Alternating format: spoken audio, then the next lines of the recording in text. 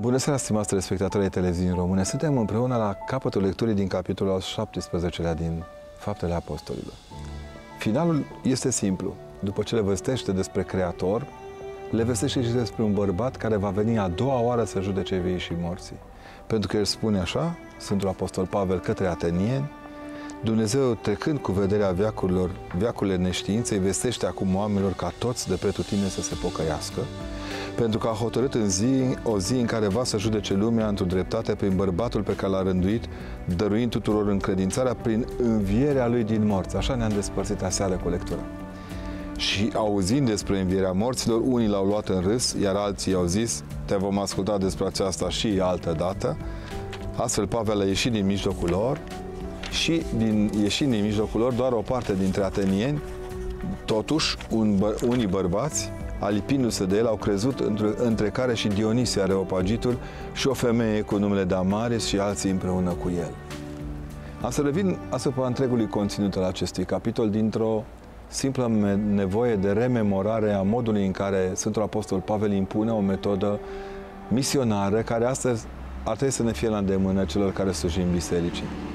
Un om de o vastă cultură se știe că a crescut foarte mult în filozofie, că s-a școlit după aceea la, la picioarele lui Gamaliel, dreptul din uh, Ierusalim, că într-un fel sau altul Pavel este o, o convertire nu doar conjuncturală la viața în Hristos modului de a vorbi, modului de a ști, cultura lui păgână, într-un fel sau altul, îl ajută să se adreseze păgânilor, punându-le problema în linia lor, în direcția lor, sau cum a spune astăzi mai modern, în siajul gândirilor, dovedind totodată, fundamental, că atunci când vrei să atingi problemele care îi dor pe ceilalți, trebuie să le pui așa cum se cuvine.